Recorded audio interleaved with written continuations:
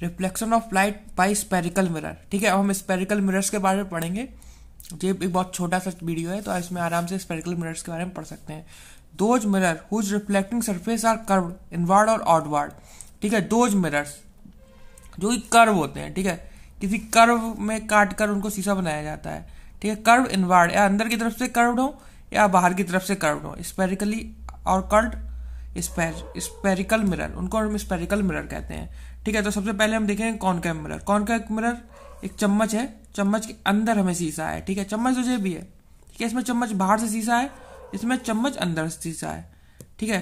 तो हम कह सकते हैं concave mirror it is curved inward it is curved inward convex mirror it is curve outward ठीक है? बहुत ही इजी एक्सप्लेनेशन है। Thank you so much